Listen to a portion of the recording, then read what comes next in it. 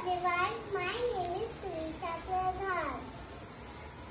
Today I am going to tell you the story B and B Where the Sea. B and B Where the Sea.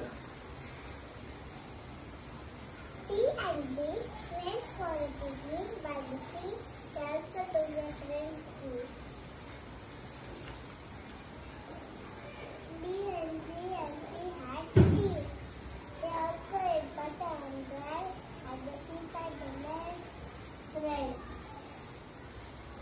The five of them made balls and built sandcastles that were tall. They, they dug up the sand and swam in the water, but by noon it was hotter. So they sat in the shade and ate more butter and bread with some cakes and cotton, ca- cotton candy. This was when we made her friend Annie.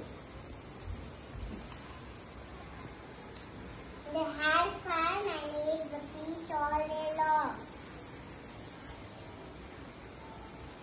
At the evening, when the sun was and head for the town.